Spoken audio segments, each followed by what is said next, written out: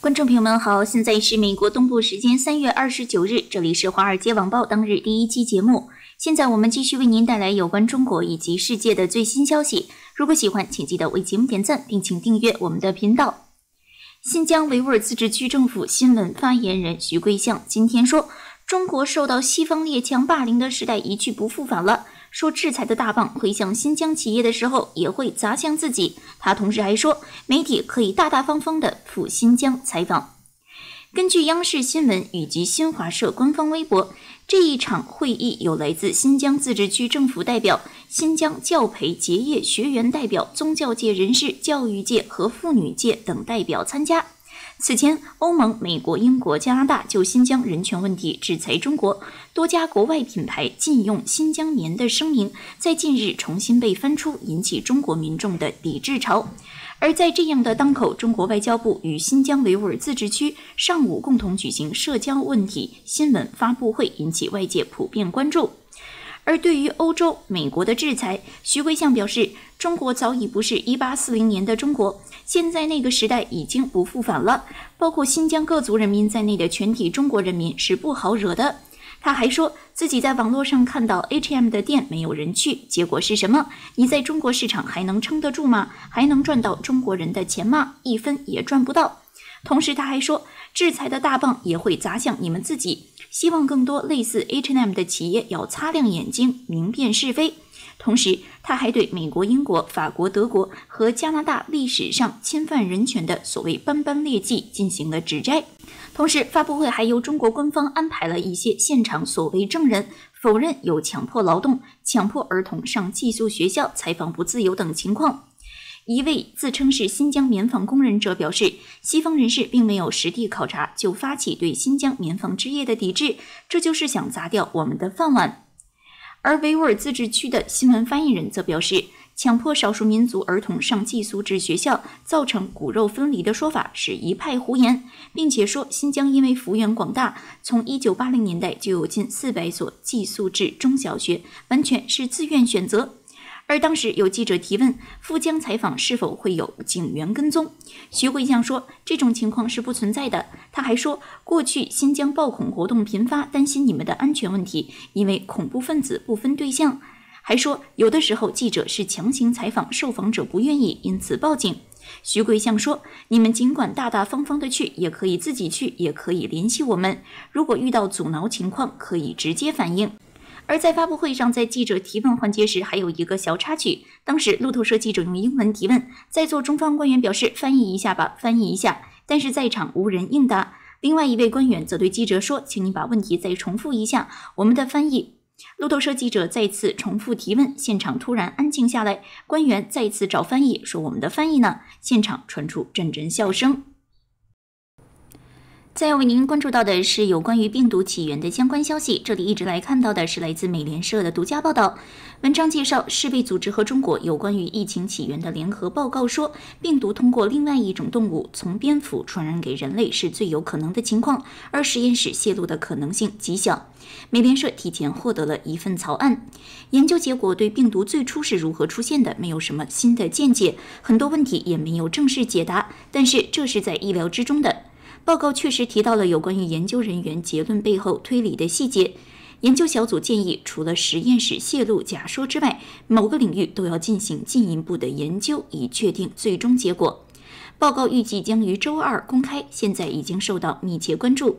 了解病毒的起源可以帮助科学家防止未来的再一次大流行，但是这个问题也十分敏感。报告发布的一再拖延，让外界怀疑中国方面是否试图影响其结论。此前，美国国务卿布林肯在接受 CNN 采访时说：“我们对那份报告的方法和过程感到担忧，包括北京政府似乎是帮助撰写了这一份报告。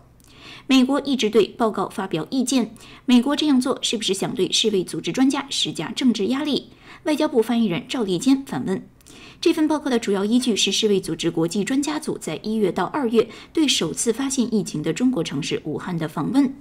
在美联社获得的草案中，研究人员按照可能性大小列出了四种情况，排名第一的是我们刚才提到的通过另外一种宿主从蝙蝠传播给人类。他们同时也评价了从蝙蝠直接传播给人类的可能性，并表示通过冷链食品传播是可能的，但是可能性不大。而同时，报告表示，在另外一种哺乳动物穿山甲中发现了高度相似的病毒，但也指出水貂和猫对于这种病毒也很敏感，它们也有可能是携带者。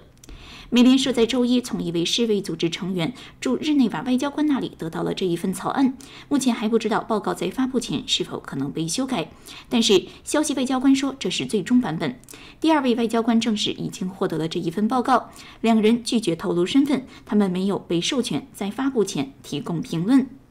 世卫组织总干事则表示，他在周末收到了这一份报告，并表示将于周二正式提交。他拒绝评论政治压力是否影响到了报告。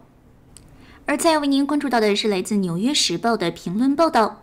文章介绍，有一位来自贫困富庄的女性，在与当地一位警察局长发生性关系时只有十九岁，而不久她又与其他地方领导，包括警察和医院官员发生了性关系。根据中国媒体的报道，有很多男人给了她钱。根据法庭文件，当当局抓到她并指控她敲诈勒索时，这一位叫做许燕的女子已经从九位男子那里收到了高达五十七点三万美元，其中包括八位官员。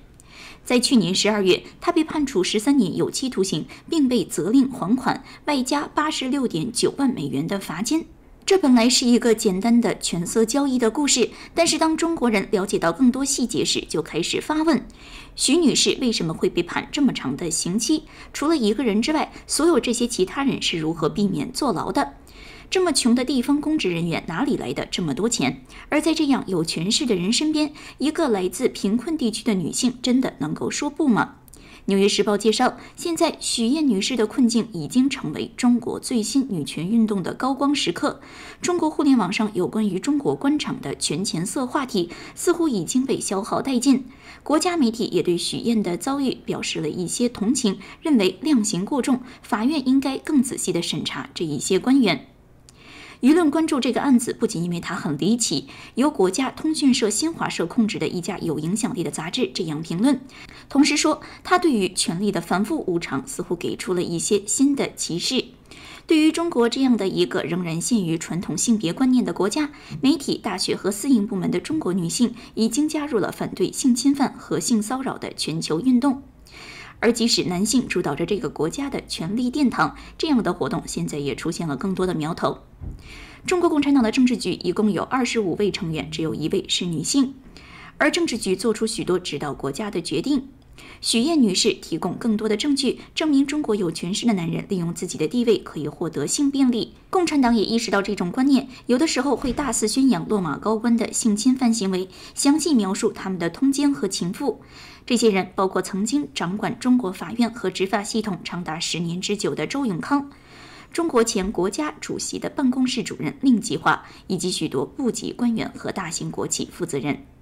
官方的媒体《法制日报》在对腐败调查通知书中的调查中写道：从2017年10月开始的16个月内，有63位高官被指控有不正当性关系。此前一年，中国最高检察机关列出了因为腐败被起诉的高官的六大特征。第三条是以权换色。机构表示，一位省级高官以为情妇工作而闻名，他们需要所有的钱来维持这些情妇。此前，调查一家国有金融公司前负责人赖小民的检察官指控，他在家中存放三吨现金，而且有不止一个情妇。而国家媒体甚至直接说，他包养了一百多个情妇。起诉和调查没有阻止共产党员滥送权力，归根结底是党在中国生活中的权威不受约束，而当他不向任何人负责时，没有人可以追究他的责任。《纽约时报》文章介绍，许艳女士的故事显示了当地官员如何处理对不法行为的指控。文静将许燕女士描绘成一个操纵者，她威胁这些男性官员，除非他们给钱，否则就透露这些事情。但是细节有的时候还是暗示了更加复杂的情况。法庭文件确认了一位男子，一位警察。文件中表示，四十八岁的这一位刘先生和徐女士在二零一六年有两个月的婚外情。他们分手之后，徐女士向他索要三万元，然后在二零一八年复合又分手。根据文件，这一次他给了他十六点六万元。这些人中，只有这一位刘先生被判刑，罪名是单独的受贿罪，而且只判了两年半。其余的人虽然受到了不明确的党纪处分，但普遍避免了刑事指控。就连官方媒体新华社也责备当地官员试图消解有关于这一话题的帖子。他们说，面对公众质疑，当地政府不应该采取删帖的方式。新华社评论：公开回应才是唯一正确的措施。而现在，许燕女士的抗争公开上演，让看客大饱眼福。他的父母从上海聘请了两位律师为他辩护，当地上诉法院却拒绝他们的会见要求。许燕女士的叔叔在社交媒体微博上发帖，说法院指定了两位法律援助律师。而同时，也有许燕的家人说，政府官员都是四五十岁的社会名人，比他的侄女资历深，权力也大，他们的年纪并不清楚。判决书只披露了他们的姓氏和职务。尽管许多人在网上为许燕女士的遭遇进行发声，但是也有很多人承认，她现在面临艰难的法律斗争，她可能会成为政府证明自己正确的最新受害者。网友认为，在政府办公室的黑暗角落里，有许多女员工仍在承受类似的命运。再为您关注到的是中国与伊朗和俄罗斯结盟的更多细节。此前，《华尔街网报》向您介绍，王毅正在进行的中东之行已经出游斩获。在三月二十七日，王毅到访伊朗，签订二十五年全面合作计划。中国外交部方面暂时没有公布更多细节，但是根据官方媒体的报道，二十五年的协议将包含政治、战略和经济合作。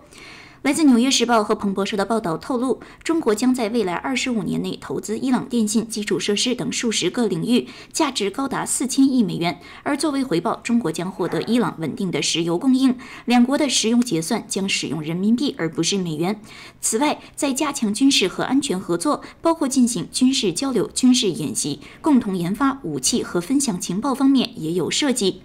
而在中国和伊朗签署协议之前，王毅与俄罗斯外长拉夫罗夫举行会谈，其中双方明确表示，不管国际形势如何变化，中俄之间的全面战略协作只会加强，不会削弱；只会拓展，不会收缩。此外，在二零一九年十二月底，中国、俄罗斯和伊朗三国在阿曼湾举行首次海上联合演习之后，在今年二月，三国又在印度洋展开军演。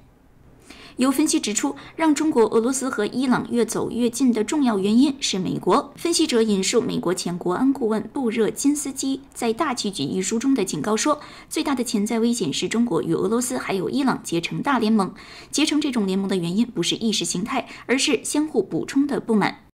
而有趣的是，另外一个国家朝鲜也与中国频繁示好。此前，朝鲜媒体朝中社在三月二十三日有报道说，朝鲜领导人金正恩与习近平互通口信，金正恩呼吁加强与中国的团结和合作，以应对敌对势力的挑战。敌对势力显然是指美国。在刚刚结束的阿拉斯加会议中，中美双方最高级别的外交官发生了激烈争吵。朝鲜与美国的关系近期更趋紧张。金正恩曾经多次要求美国解除对朝鲜的制裁，作为两国恢复朝核谈判的前提。但是，根据此前来自《华尔街日报》的报道，华盛顿方面对此不予理睬。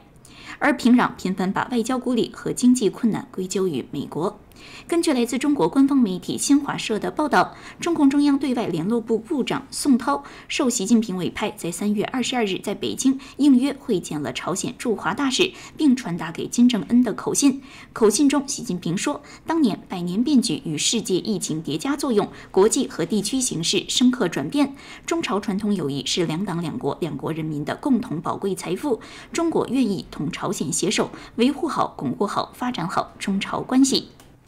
再要为您关注到的是跟腾讯有关的消息。根据来自自由亚洲电台的报道，中央巡视组人员进驻腾讯。多位知情人说，巡视组对腾讯的商业行为进行调查，并与腾讯高级主管进行对话。文章引述一位消息人士说，中央巡视组人员进驻腾讯做法跟阿里差不多，说法是涉反垄断。路透社引述知情人士说，马化腾在两会期间会见了中国反垄断监管机构官员，在会谈中讨论了腾讯如何更好遵守反垄断监管规定。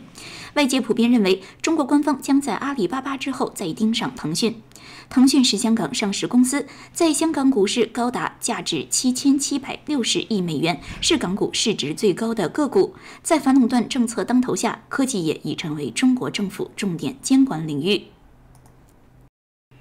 观众朋友们好，现在是美国东部时间三月二十九日，这里是华尔街网报当日第二期节目。现在我们继续为您关注到有关中国以及世界的最新消息。首先为您关注到的仍然是新疆棉花事件。在三月二十四日，有多家外国品牌表示禁用新疆棉花。黄轩作为中国大陆最先发声的艺人，带起了整个娱乐圈的抵制风潮。人民日报在三月二十四日晚上发布支持新疆棉花文案，转发超过四百二十多万，网友纷纷要求品牌代言明星出来说话，到底支不支持新疆棉花？而这样的消息一出，也有网友翻出了中国外交部发言人和中国领导人此前在各种场合的服饰，仔细审查其中有没有涉及污蔑新疆棉花的品牌。最早引起关注的似乎是外交部发言人华春莹的一身运动装，她全身穿着粉色的运动装，黑色的运动裤，出现在网球球场上。根据中国官方媒体的报道，在2013年，当时从未受过网球训练的华春莹，随外交部网球爱好者到奥体中心来参加中央国家机关网球协会志愿者骨干培训。此后的每个周末，他都会打网球。2015年，他更是被吸纳到国家机关网球协会志愿者骨干队伍中，比赛水平不断上升。而华春莹自己在接受媒体时说：“现在如果十多天不打球，浑身就跟生锈了一样，特别想打球。”同时，他还向记者展示他和球友们在奥林匹克森林公园打网球的照片。华春莹说：“他曾经连续五周每天开记者会，身体撑不住，当时呼吸都困难了，下了记者会立刻就躺倒。先生还带他去做针灸，但是他说这样的经历更让他要坚持参与网球健身。”而在照片中，华春莹身穿一件粉色运动衫，脚踏粉色运动鞋，头戴发带，手举网球拍。也有网友立刻注意到，华春莹一身的行头似乎不少外国品牌。有网友说，华春莹的衣服是阿迪达斯的，球鞋是耐克的，手腕套也是耐克的，而球拍是威尔逊的，并就此反问华春莹：“你爱的是美国吗？还是中国？”但是由于照片分辨率比较低，到底是否的确是这些品牌，现在还有待观察。另外被大家发现的，则是外交部长王毅的旧照片。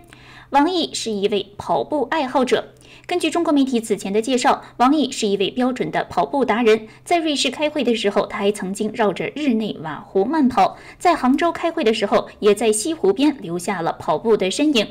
而根据网传一张王毅在瑞士跑步的照片，他全身上下一身白，而衣服经网友发现是日本著名的高尔夫球品牌 SRIXON，而鞋子则是知名的美国品牌哥伦比亚。最引人关注的还是中国国家主席习近平的夫人彭丽媛，有一张夫妻二人共同泛舟的照片流出。在照片中，习近平向观众挥手，而彭丽媛则手捧单反相机坐在一边，身穿一件红色外套，袖口是格子翻领。有外国观察者认为，彭丽媛穿的似乎很像巴宝莉，而这个品牌现在正在因为新疆棉事件而受到中国网友的抵制。但是，经过查看巴宝莉官网。似乎并没有彭丽媛同款衣服，而有关于彭丽媛的衣着，此前也引起关注。当时彭丽媛出访俄罗斯，拎着皮包，穿着黑风衣，有网络猜测是意大利品牌 Tots，但是原来彭丽媛穿的是来自广州的本土品牌，由设计师毛继红与太太马可在一九九六年创立于广州。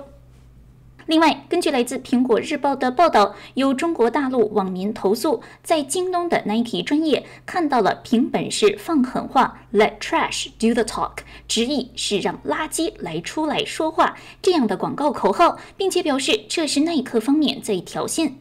而根据来自《苹果日报》的报道，京东方面就此策划了广告图片，而口号在二月份已经出现，是用来宣传耐克对以环保物料、使用垃圾回收物制成的篮球鞋。尽管中国网民对于耐克的抵制声浪十分之大，但是销量似乎没有受到什么影响，新款球鞋也很快销售一空。最后为您关注到的是来自彭博社的分析文章。文章认为，美国与中国的关系是一个充满潜在爆炸性问题的雷区，而其中最大的一个风险却十分微妙：中国可能会高估了美国力量的衰落程度，并采取危险行动。文章认为，如果中国像其媒体组织所宣称那样坚信美国和整个西方自由秩序正处于长期衰落的早期阶段，那么胆大妄为的中国政府就有可能会越俎代庖，变得过于挑衅，迫使美国做出强烈回应。而这种风险出现在很多领域，包括南海商业贸易，而在香港和台湾上尤其突出。文章认为。这种风险有助于解释拜登政府对中国的许多开放步骤策略，是在与北京全面接触之前，试图建立美国持久的经济、外交和军事力量形象，来抵消中国有关于一个政治分裂、经济衰退的美国的说法。拜登政府的信息很简单：不要低估美国的力量。因此，我们看到拜登政府没有跳进与中国的最新贸易谈判，也没有取消川普政府对于中国商品所征收的关税。总统希望首先证明美国战胜病毒大流行、经济恢复，并开始与国会合作，通过一项投资美国经济基础设施的计划。而这些步骤将能使得美国政府从增强实力的强势位置开始谈判。因此，新上任的美国贸易代表戴奇在接受《华尔街日报》采访时说：“政府还没有准备好取消这些关税。”他说：“轻易放弃杠杆，这不是好的谈判策略。”而与此同时，拜登政府继续了川普时期派遣美国海军军舰通过南海进行航行自由演习的做法。目的是表明美国不接受中国在地区的领土要求，同时也向盟友保证美国将在地区保持军事存在。而最重要的是，从拜登政府对于四国，也就是由美国、澳大利亚、日本还有印度组成的非正式联盟这一组织的空前重视中，可以看出美国继续展示影响力的有关努力。拜登总统的第一个重大外交举措之一，就是在两周前召开了前所未有的四方最高元首虚拟会谈。这并非偶然。之后，各国领导人共同签署了一份声明意见，宣布共同应对气候变化，并生产和分发疫苗给印太国家。署名文章甚至没有提及中国，但疫苗倡议是明显的举措，对抗中国自己利用疫苗外交来扩大影响力的努力。也许更尖锐的是，四国领导人表示要反击中国在南海的领土主张。中国当然注意到了这一点，他声称四国集团是毫无意义的，是带有冷战色彩的威胁性反华联盟。当然，四国集团对抗中国实力有明显的局限性，四个国家都需要与中国维持经济联系，而且都对被视为挑衅性的军事联盟结盟持谨慎态度。但是，美国有能力召集四国，并帮助在疫苗分发方面产生协调行动，这或许才是拜登政府向中国发出信号的最有意义的方式，也就是不要对美国的国际影响力看低了。在关键的台湾问题上，中国继续认为台湾只是中国的一个省份，而美国官员现在担心，习近平可能开始走上迫使台湾接受与中国大陆统一的道路，必要时甚至要动用军事力量。在香港镇压民主的努力，可能就是一次试探。如果真是这样的话，威慑习近平的最好方法就是现在说服他。如果他做出这样的举动，他将不得不担心一个强大的、有国际影响力的美国的反应，而不是一个软弱和退缩的美国。再为您关注到的是跟外交有关的消息，这里一起来看到的是来自香港《明报》的报道。此前，《华尔街网报》向您介绍，中国外长王毅在中东进行访问，引起了外界关注。而与伊朗签订两国为期二十五年的全面合作协议，中方称为全面合作计划，更是引起很多讨论。中国方面在宣传上相对低调，官媒只是引述王毅说法，说这是为了挖掘两国在经济、人文等领域的合作潜力，没有更多具体内容。一般认为，这样反映出了中方对协议的审慎。但是，《明报》文章认为，协议是习近平五年前访问伊朗时双方就商定的。伊朗近年多番提起，而中国这一次决心签署，经过反复的利害权衡。文章认为，中方与伊朗交易有风险，不仅是美国，同时也有伊朗国内的政治风险。伊朗与美国敌对多年，国内的亲美势力仍不可低估。而中方将交易年期拉到二十五年，并非是一锤子买卖，似乎是汲取了过往“一带一路”投资的教训。而且这一次协议以人民币为主进行结算，降低了投资风险。此外，文章认为，王毅这一次中东之行，从行程看有穿梭外交之意。首先去了沙特，然后去了土耳其，再去伊朗，结束伊朗之行之后，再返回海湾国家等。其中，在沙特、土耳其、在伊朗都是区内对头或者是竞争者，六国都是穆斯林国家，在新疆问题上也没有站在美欧一边，可以说意义十分明显。而文章同时关注有关于魏凤和的东欧四国之行，外界普遍看到的是在塞尔维亚首都贝尔格莱德，魏凤和特意到1999年被北约战机炸毁的中国大使馆来进行凭吊，期间说中国人民永远不会忘记这段历史，绝不允许这样的历史重演，呼应了此前外交部发言人华春莹所说，北约还欠着中国人民的血债。有趣的是，塞尔维亚是中国目前在欧洲屈指可数的盟友。之前，该国揭发有政党人士、内政部情报官员配合西方国家窃听武器及电话，而整个国家内部政情也十分复杂。再要为您关注到的是来自《华尔街日报》的报道。文章介绍，有一位美国外交官的妻子曾经是中国社交媒体上的明星，直到中国国家媒体对他进行追杀抹黑。这个人就是庄祖仪，她曾被称为是最著名的外交官夫人，之后却成为了社交媒体恶意攻击的目标。根据《华尔街日报》介绍。庄祖仪是美国前驻成都总领事的妻子，曾经是一位广受欢迎的台湾美籍美食作家，还有新晋音乐人，在中国社交媒体上积累了大量的粉丝。二零一九年，在中美贸易关税之际，他被任命为成都文化旅游大使。即使是在中美政治关系最紧张的时候，他仍然有很多的欢迎。但是在去年七月，中国社交媒体用户却突然开始把矛头对住他。首先是抓住他早前一篇文章中的评论，后来他表示后悔。而在几个月的时间里，社交媒体上充斥着各种恶毒的言论。根据《华尔街日报》引述研究中国媒体的专家说，对于他的网络攻击是国家媒体鼓励的，也是不同寻常的。原因是时间持续了这么久。而这一切发生在去年二月时，疫情在中国各地蔓延。不久之后，张祖义和他的两个分别是七岁和九岁的儿子，与其他美国外交官一起被疏离。在七月下旬，当中国下令关闭美国驻成都领事馆，以报复川普政府关闭中国驻休斯顿领事馆的决定时，他们正待在马里兰州。而在双方紧张局势加剧的情况下，中国的民族主义评论者挖出了他几周前在微博上写的一篇文章。其中说，我曾经有过一个短暂的念头：犹太人在二战前离开家园躲避纳粹，是否也和我们一样？他说，我把这些情绪甩出脑海，告诉自己，我很快就会回来的。庄祖仪在后来接受采访时说，这是一个错误，我当时不应该这么写，只是一个比喻。而直到成都领事馆关闭之前，这个帖子没有被人注意到。而在领事馆关闭后的一周内，帖子被转发了五千多次，涌现了八千多条评论，其中很多是批评他者。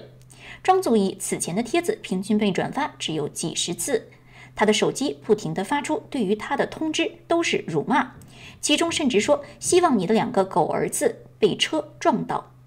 同时，庄祖仪也说他在马里兰州的一位邻居在他加入公寓的脸书私人群组时泄露了他的位置，使得中国网民发现了他的居住地，于是他们贴出了房屋照片，嘲笑附近的人不务正业，暗示他陷入了困境。接下来，他们又在社交媒体上找到了他家人和亲戚的照片，并嘲笑他们的长相。而试图在微博上为他辩护的朋友们告诉他，他们的评论在一夜之间被删除，他们的账户被恶语重伤，然后被冻结。在台湾和香港的亲中媒体甚至发表文章，猜测庄祖仪是台湾政府派来收集美国外交官情报的性工作者。在回忆起这段经历时，庄祖仪表示：“我受到来自四面八方的攻击，甚至不知道如何保护自己。”他说：“当中国网民追踪到他在马里兰州的住所后，他不再出门，害怕被人认出，甚至一度考虑过自杀。”他说：“他已经被当做一个靶子符号，而不是一个人。这些人不关心我做了什么，我是谁，我说了什么。”美国国务院拒绝评论针对庄祖仪遇袭事件所采取的措施，但表示认真对待任何针对美国政府人员以及家属的潜在威胁。国务院表示，他们知道中国国家控制的媒体参与并鼓励在网络上对美国公民、美国外交官以及家庭成员进行谩骂和骚扰。声明表示，这是暴徒政权使用的策略，而不是负责任的国家。中国外交部却说不知道庄女士的情况，说美国国务院的评论毫无根据。中国外交部说，中国有自由的互联网，用户可以自由发表意见，中国媒体是公正、真实、准确的。在接受《华尔街日报》采访时，庄祖义表示，他最近恢复了做饭、写作，在社交媒体上发帖。他说，如果他不走出来，只能说让中国巨魔获胜了。回过头来，他表示这一件事让他看到中美关系中留给他这样剑桥人的空间有多小。他说：“中国不惜摧毁温和派来彻底与美国为敌。”观众朋友们好，现在是美国东部时间三月二十九日，这里是华尔街网报当日第三期节目。现在我们继续为您带来有关中国以及世界的最新消息。如果喜欢，请记得为节目点赞，并请订阅我们的频道。今天首先要为您关注到的仍然是与台湾有关的消息。这里一起来看到的是来自《金融时报》的报道。文章介绍，在一月份的确认听证会上，美国国务卿布林肯表达了对中国的强硬态度，同时说他希望与台湾官员创造更多的接触空间。而根据来自《金融时报》的独家消息，拜登政府正准备发布指导方针，通过采纳川普时期推出的一些变化，使得美国外交官更容易与台湾官员会面。此举很可能被中国视为一种挑衅。根据报道，川普在一月份即将离任前，大大放宽了让美国外交官难以举行与台湾外交官会晤的限制。专家们都在等着看拜登是否会扭转方向。根据《金融时报》所采访的了解最新政策的人士透露，美国方面正在准备指导方针，将保留川普时期的许多变化。美国外交官与台湾官员接触的限制已经实施了几十年，直到川普放松了这一些限制。《金融时报》引述一位熟悉相关方针的人士说：“他们将重点鼓励美国官员与台湾同行会面，而不是对接触施加限制。”第二位消息人士说，美国和台湾外交官之间大部分互动限制将消失。文章分析认为，原本以为拜登政府之后会在台湾问题上稍微低调，并试图与北京达成某种重置，但这并没有发生。对台湾的支持是拜登政府对中国日益强硬立场的最新体现。有高级官员在上周告诉《金融时报》，他的政府担心中国要夺取台湾的控制权。原先增加此类会议的难度准则是在1979年美国将外交承认权从台北转移到北京之后出台的。然而，在一月，时任国务卿蓬佩奥在国会在12月通过《台湾保证法》后，取消了许多相关限制，规定在180天内进行审查。此举凸显了拜登对于中国更加强硬的态度，与川普更有继承性。美国驻西太平洋帕劳特使尼兰德在周一与帕劳总统一起访问了台湾，与承认台北而非北京的十五个国家之一的领导人进行访问是极其不寻常的。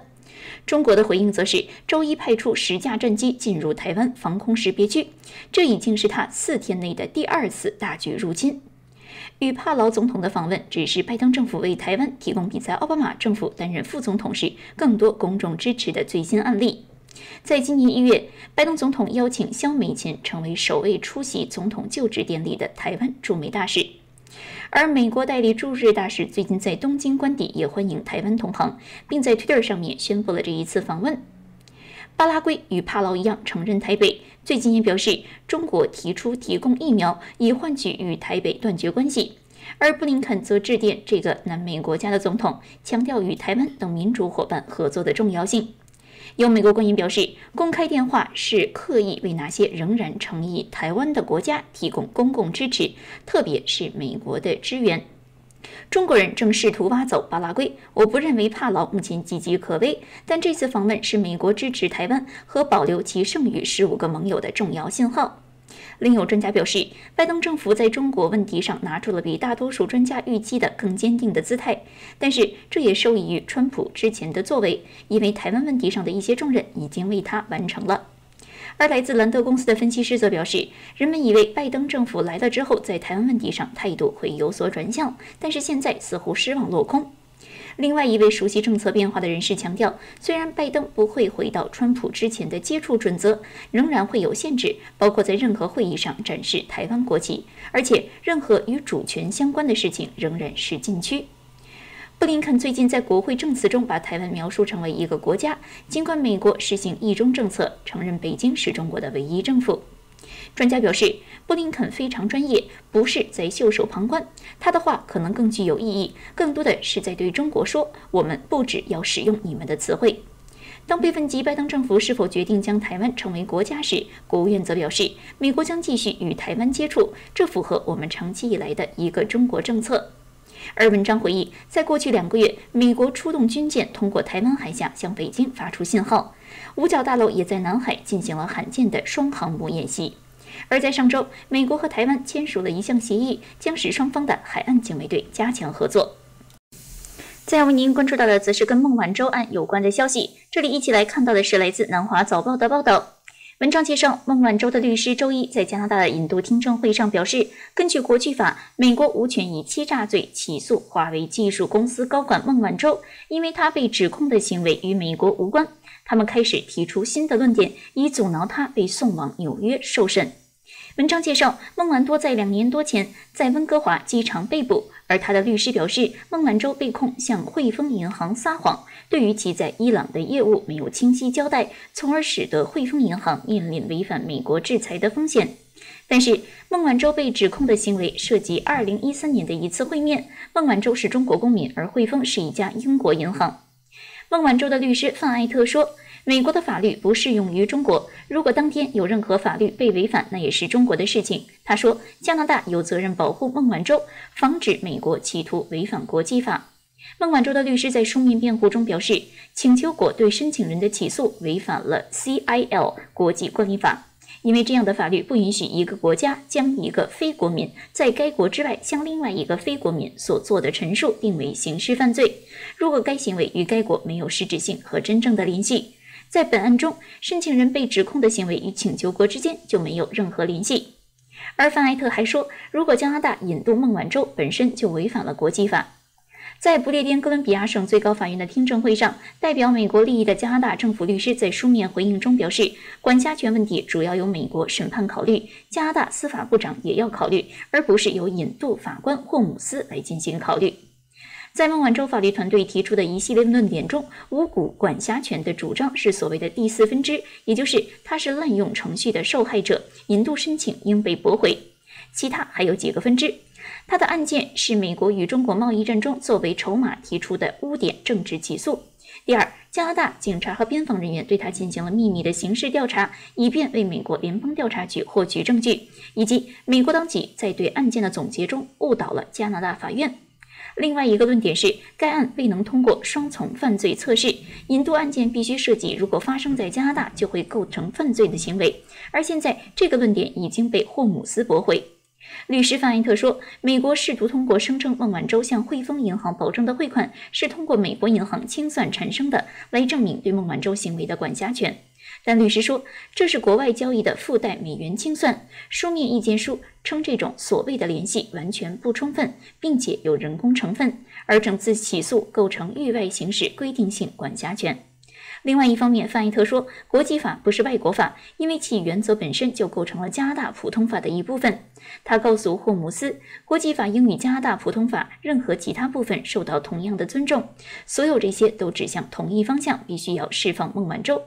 范伊特说：“虽然尊重外国法律制度的原则在引渡方面非常重要，但是这不是对外国违反国际法行为视而不见的依据。”他表示：“加拿大对孟晚舟有责任。现在加拿大处在我们的法律保护之下。”周一早些时候，有关于加拿大皇家骑警和加拿大边境服务局警卫涉嫌不当行为的争论结束。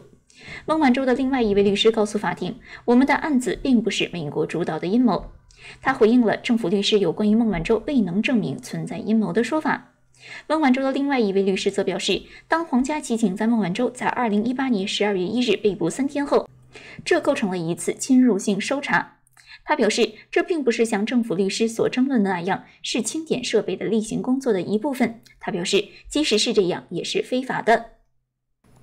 而再要为您关注到的是与疫情相关的消息，这里一起来看到的是来自《华盛顿邮报》的观点文章。文章说，熟悉病毒的来源与政治无关，这是一个法律医学问题，一个需要对所有可能的理论进行彻底调查的问题，既要包括自然界病毒从动物跳到人类的情况，也要包括从武汉实验室的错误有关的情况。但世卫组织和中国官员以及专家的致命缺陷性调查只会把水搅浑，并使世卫组织与美国政府的矛盾进一步加剧。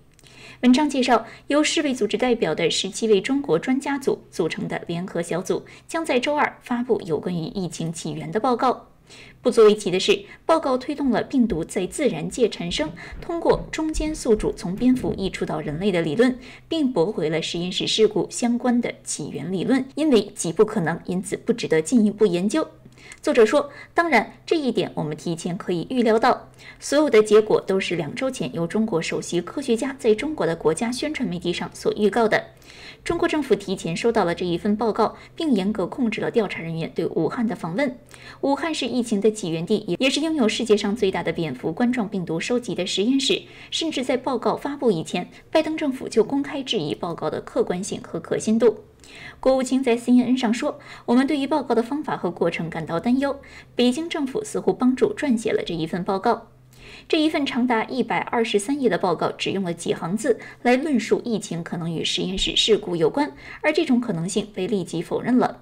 报告中关于实验室事故说法和没有说的内容，使得中国政府和世卫组织与川普政府发现了直接冲突。”具体而言，经布林肯自己的国务院证实的美国解密情报表示，武汉病毒研究所正进行未公开的病毒研究，与中国军方有秘密研究项目，并且没有披露2019年秋季有几位实验室工作人员得了类似疫情的疾病。